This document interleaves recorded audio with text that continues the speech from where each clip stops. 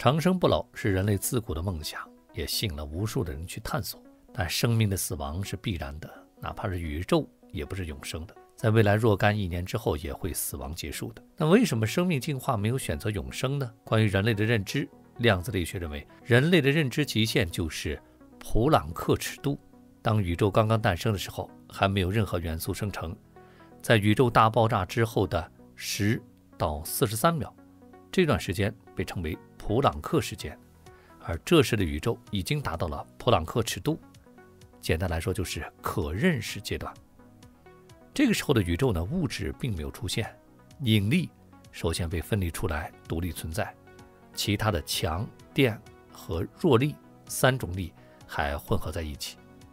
在宇宙大爆炸的三十八万年之后，真正的元素出现了。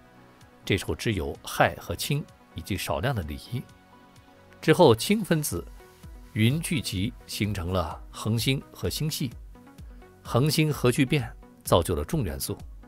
中子星碰撞和超新星大爆炸等天体事件，又创造出了更重的元素。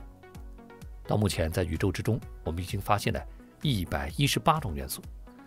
而元素的优化组合诞生了生命。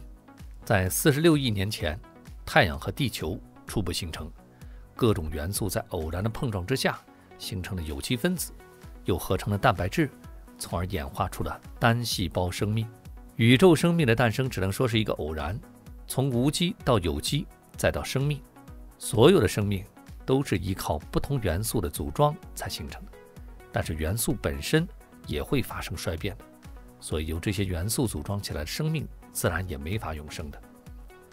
对于生命的存在形式，大自然给了我们最好的方式，那就是繁衍和进化。DNA 密码是生命最奇幻的特点，而且最基本的功能就是遗传。简单来说，就是复制以及繁衍。但这种复制不是百分之百的复制，在复制过程当中还会产生变异以及突变的情况。比如，我们大多数人。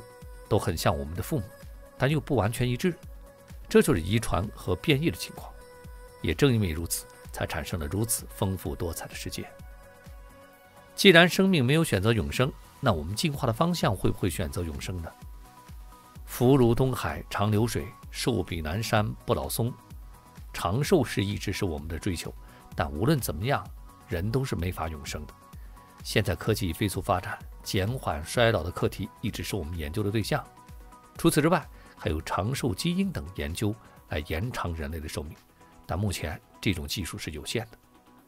人类的肉体随着时间发展不断衰老，而这种衰老是全方面的，相当于溃坝一样，一个窟窿加一个窟窿，从而造成大坝的全面毁坏。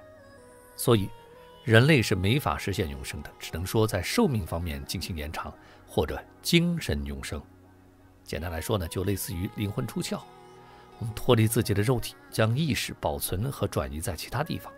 但我们都知道，意识是人脑独有的存在，是物质的。简单来说呢，意识必须要依托人脑才能存在。一旦脱离人脑，意识就没有生存的基础，也就不复存在了。所以，如何创造出一种能媲美人脑的结构，是当务之急。而人脑的复杂性是让人惊叹的。如果想创造出媲美人脑的结构，凭借现在的技术，还是不可能的。当然，科技在进步，社会在发展，总有一天这种技术会出现，而那个时候，我们的意识就相当于是一个活着的存在了，仿佛科幻电影里边一样，我们会拥有一个人造躯体，或者是其他依托的存在，好比人工智能，但又比人工智能更高级。关于意识转移的研究呢，在全世界早已展开了，比如谷歌的意识转移和马斯克的意识上传等等。但即便是这样的技术获得成功，人想要在精神上获得永生，恐怕还有一段很长的路要走。